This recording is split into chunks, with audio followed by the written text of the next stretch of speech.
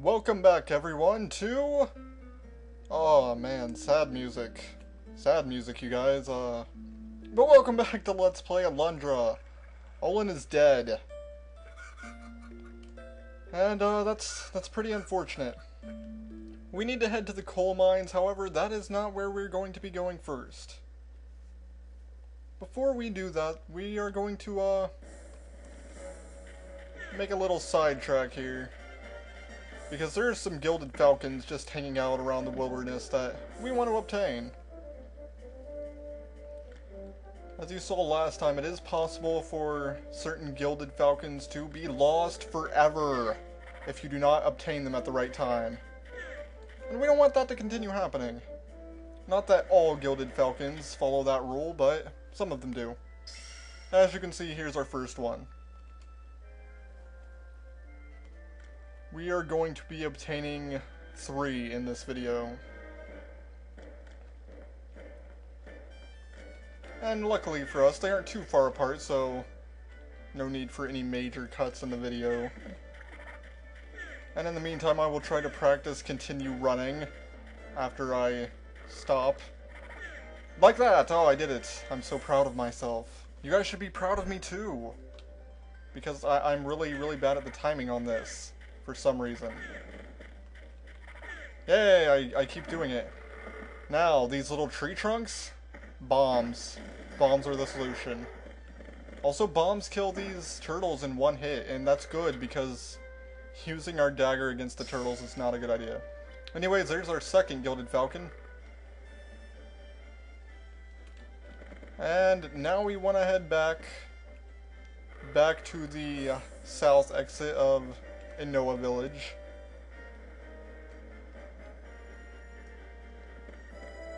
And re-enter the village.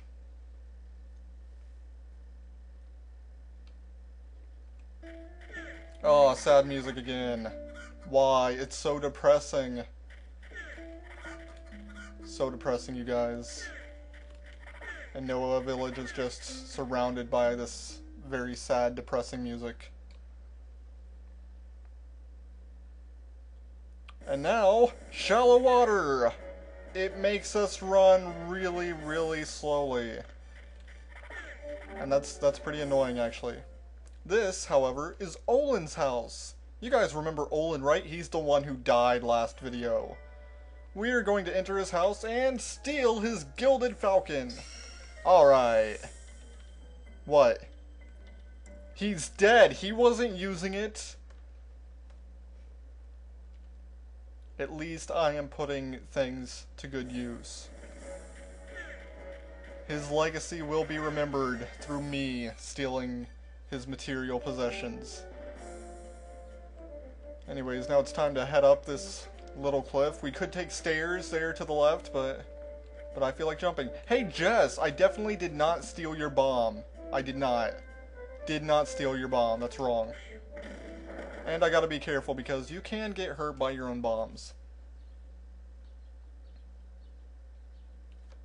But now, here we are at the coal mine.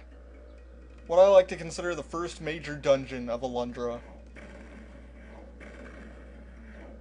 And we're greeted with an earthquake and um, the, the coal mine caving in. And now our path is blocked, but yeah, we obviously know what to do.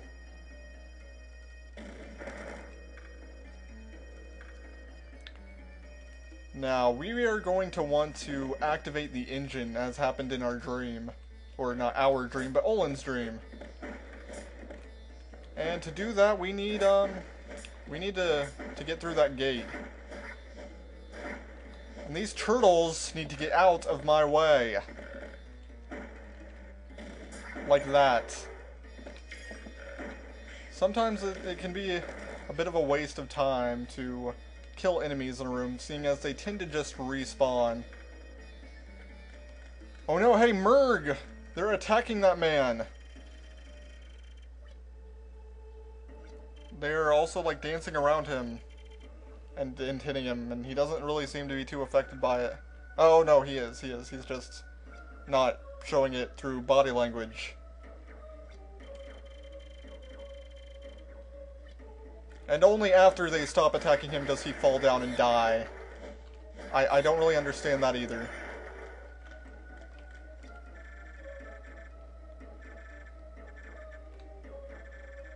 Uh, Lyman is dead. But hey, he gave us a key. That's good. As you might have noticed, there are a shitload of treasure chests here. And we are going to open them because it's uh, it's nice to have the things that they contain. I want to add herbs. This one has 30 gilder, and um, the other two chests have the same thing, herbs and 30 gilder. Herbs are a nice thing to have though. In times of trouble, you you definitely need a lot of herbs. As of right now, we have six herbs. We can only contain nine of any objects. Actually, I think we can only have nine herbs. Everything else we can only have one of, such as strength tonics.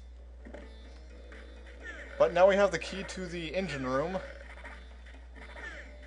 So that is our next destination.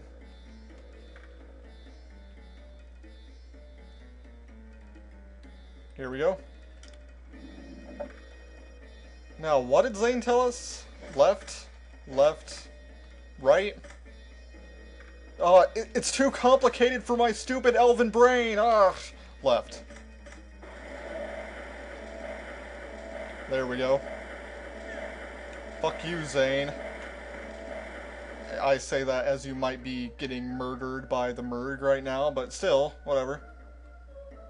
Wait, that's not the right way. Now that we've activated the engine, we can use these. These are controlled automatically, so it's it's out of my hand when once he jumps in the minecart.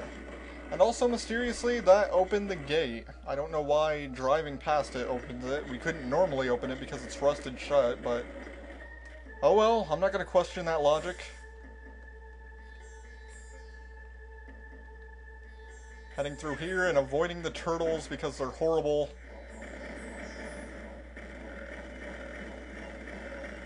And of course, our path just happens to be perfectly blocked off, but you can see uh, a passage seems to have opened to the right there. So as you might expect, that is where we want to go. This room can be pretty dangerous. This room we're heading up on, not, not this room. This room has purple blobs. I have already explained how not threatening the purple blobs are. I'm gonna throw around these crates now and hope that they're going to drop health. Eh, it dropped a little. Good enough. This room has a lot of block, or a lot of rocks falling down. The safest way through is through the right. Otherwise it's this big maze where you're just going to get hit a whole bunch. And obviously that's not a not a good plan.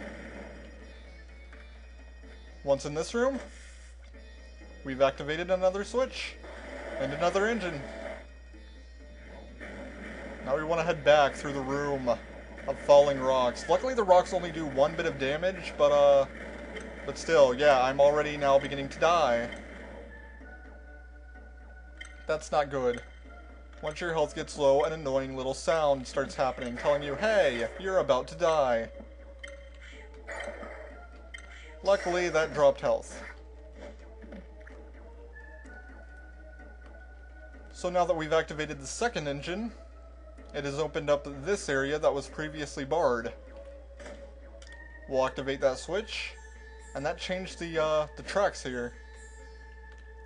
So now when we jump in the minecart, we will be headed in a different direction. And we destroy the rock.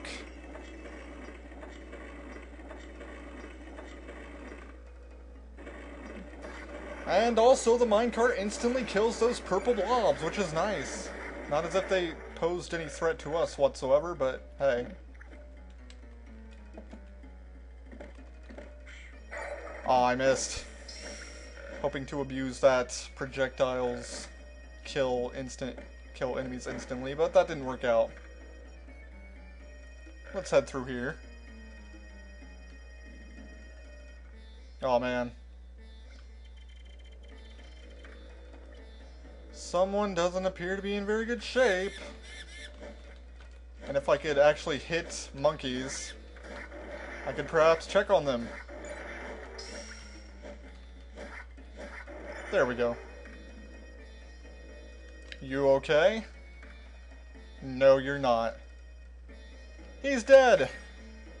But we got a key, and that's the important thing. Next time on Let's Play Alundra, we continue through the coal mine in search of uh, any survivors, and perhaps what is causing the Murgg to be so violent and aggressive. I'm Lord Vega, this is Alundra, I will see you next time.